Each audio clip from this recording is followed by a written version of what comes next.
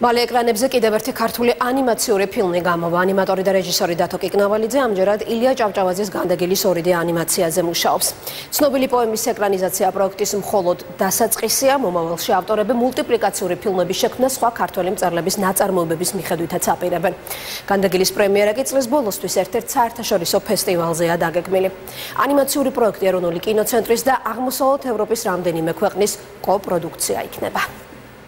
ეს არის განდეგილის ფიგურა, რომელიც როგორც ხედავთ, საკმაოდ ისეთი თამამი გასმებით არის დახატული და არის შესრულებული ისეთი აკადემიური საკმაოდ კონსტრუქციული ნახატია თვითონ. კიდევ ერთი საინტერესო პროექტი ქართველი ანიმატორებისგან, გახმაურებული მულტიპლიკაციური ფილმის ჯინო შემქმნელები ილია ჭავჭავაძის განდეგილზე მუშაობენ.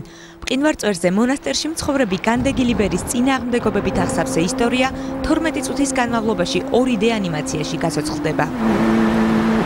ჯინოს მერე და წარმატების მერე უკვე იმის თქვა ტექნიკური ბაზა დაგვიგროვდა მხატვრული რაღაცნაირად ჩვენს გავიზარდეთ რომ რაღაცნაირად ესეთ თემებს შევეჭიდოთ. უფრო იქნება სკოლის მოსწავლეებზე გათვლილი, ანუ ამასაკისთვის და დიდებისთვის. სწავლის პროცესისთვისაც ძალიან მგონი ფასეული იქნება ეს ყველაფერი, რომ რაღაცნაირად ვიზუალურად ხედავს ადამიანი, როცა სწავლობს სკოლაში. პროექტის ავტორმა დათო კიკნაველიძე მილიას ალეგორიული ხასიათის ნაწარმოების ვიზუალიზაციისთვის ძირითადად ყაზბეგის ლანდშაფტი გამოიყენა. განდეგილისთვის ფონები აკვარელით იხატება, ხოლო შემდეგ კომპიუტერული გრაფიკით მუშავდება. ფილმის შემქმნელები ეპიკური პოემის ეკრანიზაციაში ილიას პოეტურ ენასა და თანამედროვე სალიტერატურო ენას გაერთიანებენ. სპეციფიკური და სიმბოლური დატვირთვის არის პერსონაჟის დახატვის ტექნიკაც. კონტური ექნება თვითონ სხეულს და არა გარე თქვა ტანსაცმელს და ყველაფერს. აი ამით გვინდა რაღაცნაირად ხაზი გაუსვათ რომ მატერიალურს განდეგილისთვის არა აქვს მნიშვნელობა. რაღაცნაირად მარტო აი ამ სულიერს და აი ამ სხვა სამყაროში არსებობას აქვს მნიშვნელობა. ინტერპრეტაციები იქიდან გამომდინარე რომ არის არის იმიტომ რომ ეხლა იქ განდეგილში თხრობელის ტექსტიც არის ხო? აზრები არის. ეს ყველაფერი არის ვიზუალში ჩვენთან განმტანია ანუ ტექსტი შეგვიძლია მარტო ორ ადამიანს შორის დიალოგი, ანუ განდეგილსა და ლამას ქალს შორის.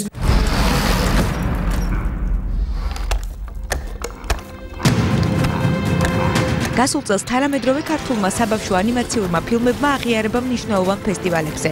მათ შორის ანიმაციურ ოსკარად წოდებულ ანესის საერთაშორისო ფესტივალზე მოიპოვეს. სწორედ უკანასკნელი პერიოდის მულტიპლიკაციური ნამუშევრების წარმატებაზე დაყრდნობით, პროექტის ავტორმა ამჯერად ორიგინალური სცენარის ნაცვლად განდეგილზე მუშაობა ქართული კულტურის პოპულარიზაციის მიზნით გადაწყვიტა.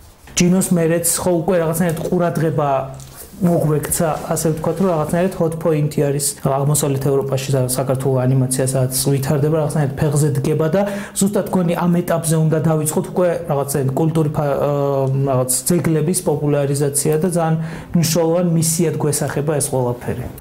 დათო გიკნაველიძე სამომავლოდ ამავე მიზნით ვაჟაფშაველასა და მიხეილ ჯავახიშვილის ნაწარმოებებზე მუშაობას აპირებს.